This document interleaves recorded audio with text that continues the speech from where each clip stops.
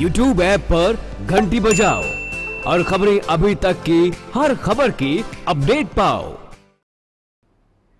उत्तर प्रदेश सरकार गाँव को खुले में शौच मुक्त करने के लिए करोड़ों रुपए खर्च कर रही है। अगर बस्ती ज़िले की बात करें तो ज़िले में कुल तीन लाख से ज़्यादा शौचालय बने हैं, लेकिन अभी तक एक लाख निन्यानवे से ज़्यादा शौचालय बने हैं। कुल एक सौ चौरासी गाँव को ओडीएफ किया जा चुका है, लेकिन विक्रम जोत ब्लॉक के रूपगढ़ के गाँव की हालत कुछ और ही बयां कर रही है। यहाँ छह महीने से ज़्यादा समय से आधा अधूरा पड़े शौचालय उच्च अधिकारियों के आंकड़ों की असलियत बता रहे हैं कि किस तरह से अधिकारी ही मुख्यमंत्री और प्रधानमंत्री के सपनों को पलीता लगाते हुए नज़र आ रहे हैं।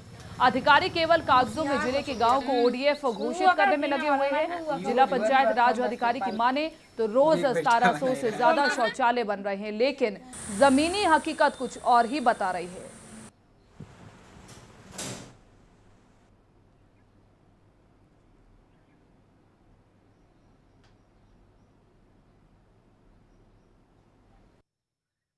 देखिए बेस लाइन के अनुसार जो है बस्ती जनपद जो है तीन लाख चार हज़ार एक सौ अट्ठाईस शौचालय बनने थे, जिसमें से एक लाख निन्यानवे हज़ार छः सौ तिरानवे शौचालय अब तक बनाए जा चुके हैं। और एक लाख चार हज़ार चार सौ पैंतीस परिवार जो है, के पास जो है, अभी शौचालय बनाना शेष है, जिसके हिसाब से दैनिक हम लोगों को चौदह सौ इकहत्तर शौचालय बनाने हैं।